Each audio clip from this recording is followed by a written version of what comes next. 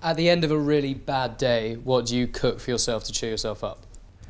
At the end of a bad day, the last thing you want is more stress. and you're not going to start you know, creating uh, macaroons, for example.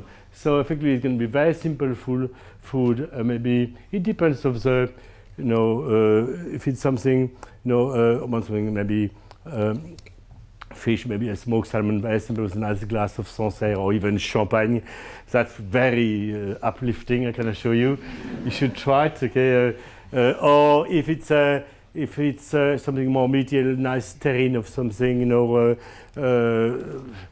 with a nice glass of Pinot Noir because I come from Burgundy, so I love my Pinot Noir.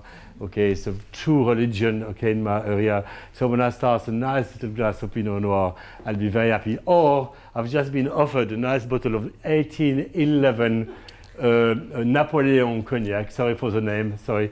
Okay. Uh, so that now maybe a little zest of this little 1811 Napoleon cognac that should uplift me for a long time. so so I look for simple food. Look, we all look for comfort. We all creatures uh, when we when we exhausted, stressed. It's nice to find something comfortable and a quick shower, or just put something warm, pajamas, and uh, you know, and, and then yeah. And uh, yes, yeah, of course. Cheers. I'm not a teetotaler. Never put on a dreadful life.